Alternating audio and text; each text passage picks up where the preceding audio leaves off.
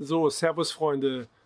Ja, ich habe das Dominik Nerz Buch gelesen, gestürzt, geschrieben von Michael Ostermann und wollte in diesem kurzen Video, soll nicht länger als fünf Minuten gehen, ähm, ja, über, über meine Erfahrungen mit dem Buch sprechen, über meine Erkenntnisse, ähm, was ich so mitnehme.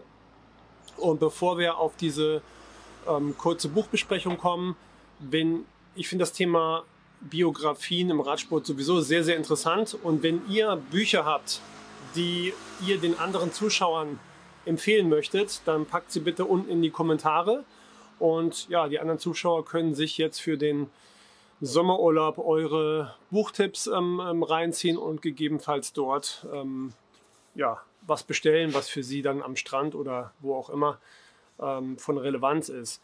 Ähm, von meiner Seite vorweg schon mal eine kleine Benotung. Ich würde dem Buch eine in Schulnoten eine 1 minus, 2 plus geben. Ähm, warte mal kurz.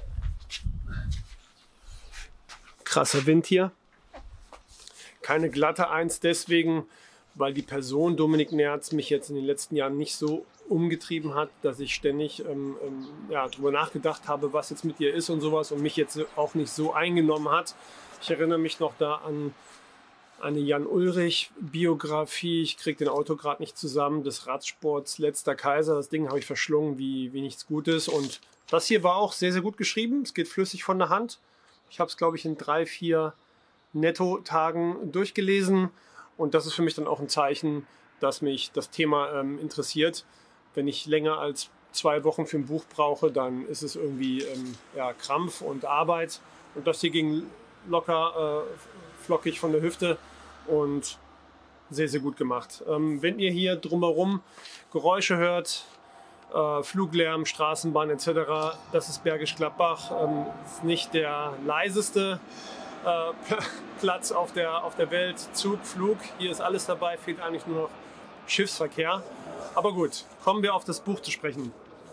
Ähm, der Michael Ostermann fängt an, ähm, im Prinzip ähm, mit dem Thema Wangen Kindheit von Dominik Nerz und ähm, für mich da interessant, dass der Dominik jetzt kein, ich sag mal, ähm, äh, ja, äh, so großer Fan war vom Radsport als solchem. Die Tour de France sagt ihm recht wenig.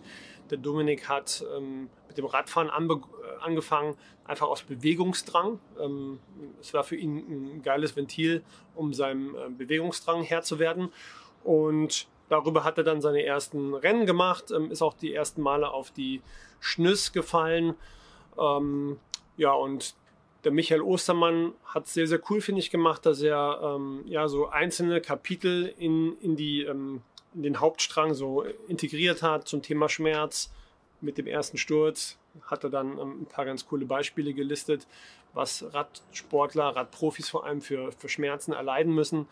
Äh, Thema Doping, pipapo. Also da war, das finde ich sehr, sehr cool gemacht von Michael Ostermann. Ja, dann springt er im Prinzip ähm, zur U23 ähm, und hauptsächlich da ähm, zum Farmteam von Team Milram damals im KT-Bereich. Ähm, es gibt ein paar ganz nette ähm, Einblicke zur deutschen äh, Meisterschaft damals, U23, ähm, wo der Dominik gegen John Degenkolb und so gefahren ist. Und das sind so die Dinge, die ich persönlich immer ganz cool finde, bei solchen Biografien so ein bisschen hinter die Kulissen zu blicken. Das, was man als normaler Zuschauer, als normaler Fan halt nicht ähm, so ähm, ja, gesagt bekommt. Ähm, der nächste Hauptpunkt ist Dominiks Profi-Einstieg ähm, beim Team Liquigas in Italien. Und das ist so ein Punkt, wo ich sage, okay, da das da finde ich die Person Dominik Nerz jetzt nicht so spannend. Ähm, vielleicht gehe ich auch da zu sehr von mir selber aus. Ich bin jemand, der total wissbegierig ist ähm, und der Dominik scheint sich in den ersten Monaten da total gegengesträubt zu haben, Italienisch zu lernen. Ähm, kann ich so jetzt selber nicht nachvollziehen ich persönlich wäre ein Typ, der das dann gerne lernen würde. Ich erinnere mich an meine eigene Studentenzeit. Da habe ich ähm, tatsächlich Vokabelheft geführt, als ich mal in Frankreich ein Praktikum gemacht habe. Da mussten mich meine Schwestern abfragen, weil ich so einen Ehrgeiz hatte, diese Sprache zu, zu perfekt, perfekt, zu lernen. Das gleiche im Englischen. Ich habe in London studiert. Ähm, ja, und da merke ich für mich selbst, dass der Dominik vielleicht nicht so mein, mein, mein Typ Mensch so ist. Ähm, aber ist auch, ist auch okay. Ähm, ich glaube, heutzutage spricht man wahrscheinlich dann mehrheitlich in den Teams Englisch. Aber Dominik hat sich, wie gesagt, damals ähm, bei Liquigas irgendwie nicht wohlgefühlt, weil Italienisch die Teamsprache war und ähm, er wenig Motivation hatte, das zu lernen. Interessant ist an der Stelle, dass seine Teamkollegen damals Peter Sagan waren und Vincenzo Nibali und jetzt wieder so ein bisschen Mäuschen spielen. Schon interessant zu sehen, wie der alte Fuchs Nibali ähm, wieder so seine Leute führt und ähm, bezeichnend ähm, gibt es eigentlich den Satz vom ähm, Dominik Merz, für ihn wäre ich als Helfer gestorben. Und das macht dann sicherlich auch einen geilen Kapitän aus, wenn er seine Leute entsprechend führen kann. Bei Kettle Evans, bei BMC später war das ähm, ganz offensichtlich nicht so der Fall. Da ledert der Dominik ähm, ganz gut ab. Ja, ähm, was bleibt sonst noch zu sagen zu Italien? Ja, ähm, das Gewicht war da ein sehr, sehr großes Thema. Dominik ähm, hat sich da nicht sehr wohl gefühlt, wie immer mit der, ähm, ähm wie heißt es, Kalippa-Zange ähm, ähm, an den Fettfalten rumgespielt wurde. Aber das Thema Gewicht, das wird dann immer größer mit fortlaufender Zeit, insbesondere jetzt beim nächsten Team, beim Team BMC, wo er dann gefahren ist. Und für das Team hat er dann auch seine ich habe hier meine Notizen, ähm, seine größten Erfolge gefeiert ähm, bei der Vuelta 2014, äh, sorry, 14. Platz in 2013 und ein 18. Platz ähm, in 2014. Und das war dann auch sicherlich so, vor allem 2013, der, der Punkt, wo auch viele andere Teams, auch der Ralf Denk dann später, den ähm, Dominik Nerz ähm, ja, auf dem Zettel hatte. Ähm, das war mal wieder ein deutscher Fahrer, der mit der sicherlich das Potenzial hatte, in den Top 10 einer größeren Tour zu fahren. Und insbesondere hier 2014 ist es sehr interessant zu sehen, wie der Dominik mh, ja, mit dem Kettle Evans ähm, nicht zurechtkommt. Mh, gibt da ein paar interessante Einblicke, verrate ich jetzt an der Stelle noch nicht. Ja, ähm, das Thema Essstörungen wird, wie gesagt, immer größer. Ähm, beim Dominik dreht sich ähm, eigentlich nur noch ähm, alles ums Gewicht. Ähm, ich habe hier mal ein paar Passagen markiert. Ähm, das ist jetzt schon jenseits vom Team BMC, das ist jetzt schon bei ähm, Bora Argon 18 damals. Äh, vor allem ist Nerz davon besessen, Gewicht zu verlieren. Ja? Er dreht seine Trainingsrunden auf Mallorca, auf eigene Kosten sogar im Winter. Und er fährt eigentlich nicht Grundlage. Er sein Ziel ist es, Gewicht zu verlieren und da fährt er stundenlang quasi nüchtern und so. Und ähm, ganz cool, nicht cooler, ein ganz krasser Satz, selbst an den Tagen, an denen er regenerieren soll, geht er joggen, in der Hoffnung, noch ein paar Gramm zu verlieren. Hm, ich habe mir noch was notiert. Ja. So.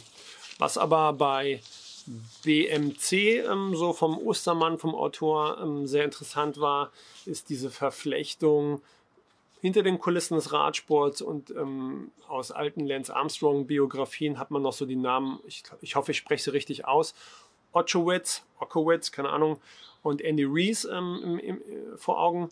Das waren so auch die Jungs, ähm, die den Lance Armstrong mit unterstützt haben, mit groß gemacht haben. Ich glaube, einer von beiden ist auch der ähm, Trauzeuge von Armstrong oder der Patenonkel von Armstrongs ältestem Sohn. Und die sind dann halt auch ähm, federführend beim Team BM BMC. Ja, ähm, wechseln wir die Seite und kommen auf ähm, Bora Argon 18 ähm, zu sprechen. Und dort wird dann Dominik Nerz ja eine, eine der ganz großen ähm, Hoffnungsträger. Ähm, aber er kann, um es auf den Punkt zu bringen, die ähm, Erwartungen in ihn eigentlich nie erfüllen. Das Frühjahr 2015 ist durchzogen von Pleiten, Pech und Pannen. Ähm, sein Thema Essstörung ähm, kriegt er nicht in den Griff und die Verantwortlichen bei Bora wissen damit auch nicht umzugehen. Ähm, der Enrico Peutschke ähm, wird hier oft äh, zitiert, dass sie damals ähm, damit ja schlichtweg überfordert waren. Der, der Dominik schien auch äh, sehr wenig zugänglich zu sein, um da irgendwie dem Thema zu helfen. Und ja, ähm, die Essstörung erreicht im Prinzip ihren Höhepunkt in der Zeit. Und um es auf den Punkt zu bringen, nach mehreren Stürzen, die dazu kamen. Es war eine Verflechtung von ähm, unglücklichen äh, Umständen. Man erinnere sich an den ähm, Grand Depart Utrecht 2015. Da war der Dominik sehr, sehr stark unterwegs. Da hat sich ähm, äh, der Lenker vorne ähm, beim Zeitfahren äh, gelockert und er fiel mal wieder auf den Kopf. Ähm, ja, aber ein ganz großes Thema, was glaube ich, dem ähm, sehr sensiblen ähm, Dominik Nerz zu schaffen gemacht hat, war das Thema Druck. Und einer seiner Hauptanklagepunkte ähm, in diesem Buch ist ja, der öffentliche Druck, der auf ihn lastete ähm, durch den Ralf Denk, ähm, wonach ein Top-10-Platz bei der Tour das ganz, ganz große Ziel war. Und der Dominik sagt in diesem Buch, das war so mit ihm jetzt nicht abgestimmt.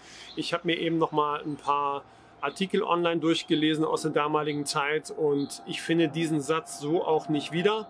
Also ich, ich finde in der Tour ähm, ähm, einen Satz vom Ralf Denk, dass der Dominik ein Kandidat wäre, der mal um die Top Ten ähm, mitfahren könnte. So wird es da zitiert. Ähm, andere Artikel habe ich jetzt so nicht gefunden. Und nach der Karriere, äh, sorry, nach der Saison 2016 ist dann auch die Karriere vom ähm, Dominik Nerz beendet. Der Körper hat keine Regeneration mehr. Ähm, ähm, wie der Michael Ostermann auch in unserem Podcast mit Philipp gesagt hat, ähm, er kommt aus dieser Schleife nicht mehr raus. Ähm, mit Magersucht, Regenerieren, Training, das passt alles nicht mehr zusammen. Und schließlich beendet der Dominik dann auch 2016, ähm, man kann glaube ich sagen, einvernehmlich mit dem Team Bora Argon 18 seine Karriere. Ähm, das Team aus Raubling ähm, hat damals auch schon ähm, ganz andere Pläne. Ähm, Peter Sagan wird verpflichtet für die ähm, äh, 2017er Saison. Bora ähm, Hans Grohe heißen sie dann auch. Und ja, ähm, zusammenfassend von meiner Seite sehr, sehr gutes also gut, gutes bis sehr gutes Buch, in Schulnoten für mich eine 1 bis 2. Ähm, handwerklich von Michael Ostermann sehr, sehr gut geschrieben. Es gibt ähm, sehr, sehr interessante Einblicke, ähm, ähm wie immer bei solchen Biografien. Ähm, es kann für mich nicht ganz mit ähm, Geschichten mithalten wie von Tyler Hamilton oder David Miller oder auch äh, der Ulle-Biografie, die ich dann neulich zitiert hatte. Für mich aber einfach, weil die Person Dominik Nerz da zu wenig bietet. Und ich denke, der Michael Ostermann hat da schon alles rausgeholt. Ja, ähm, nochmal, wenn ihr Bücher habt, ähm, die die anderen Zuschauer, die ich mal lesen soll, packt sie bitte unten in die Kommentare, gebt dem äh, Video den Daumen hoch, wenn es euch gefallen hat. Abonniert natürlich ähm, den Kanal. Und hier drunter packe ich nochmal ähm, diesen grünen Boppel, ähm, über den ihr draufklicken, den Kanal ganz simpel ähm, abonnieren könnt ja, dann wünsche ich euch einen tollen Sommer. Ich bin die nächsten Tage mal kurz bei der Tour de France und wir sehen uns beim nächsten Video. Danke und ciao.